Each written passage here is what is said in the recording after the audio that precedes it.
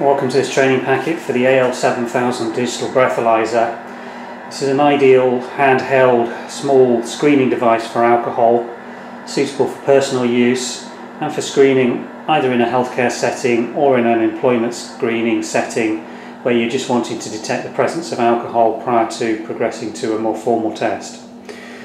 This unit comes in a starter pack which we're showing here. The packaging does alter considerably from uh, batch to batch and is about to be rebranded under the Alco Digital label for UK distribution. So the pack that we're demonstrating here may vary from that that is supplied later in 2015 when that comes online. The AL6000, sorry, AL7000 has a semiconductor sensor in it.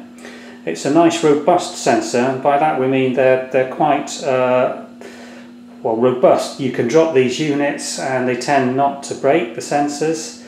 They uh, retain their calibration very well as well in clinical settings if they're being used repeatedly detecting high levels of alcohol. Uh, the less robust sensors can waver and lose their calibration settings and accuracy uh, much quicker than the, the, sensors that tend to be in the AL7000s.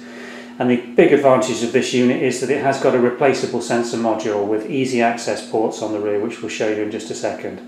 That means that rather than having to send these for calibration service to a service centre, you basically mail order a replacement sensor every 200 tests and refit it yourself. It means the unit's always on site and always ready to go. We recommend these are purchased with a spare sensor.